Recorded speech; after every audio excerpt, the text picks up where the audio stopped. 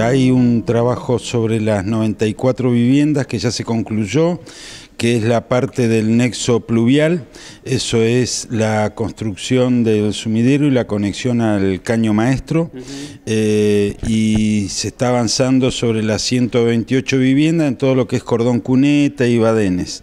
Y en los dos, en los dos se está avanzando con el tendido eléctrico, ya se ha posteado gran parte del tendido eléctrico y se están poniendo las columnas de soporte porque eso lleva una línea de media tensión y después está la distribución domiciliaria.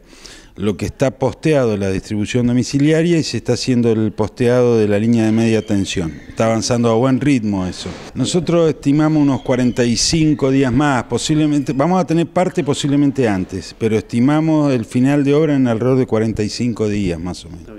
¿Cómo están las obras que se realizan a partir de la emergencia vial que se ha...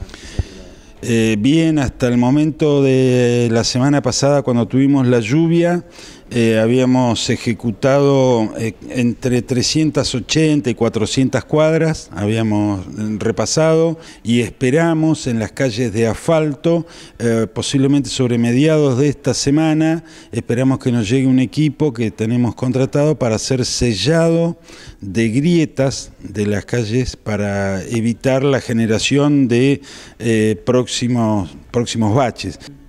Bueno, eh, se trabaja en, la instalación de termos en la costanera. Coméntenos y detallenos de, de qué se trata. Sí, esos son, son termos de agua caliente para para que la gente lo pueda utilizar para poder tomar mate. Son cuatro termos, de los cuales hay dos que ya están instalados y funcionando. Eh, uno es eh, en la Secretaría de Turismo, que está sobre la calle Costanera, en la oficina de informes turísticos, que está en la Costanera.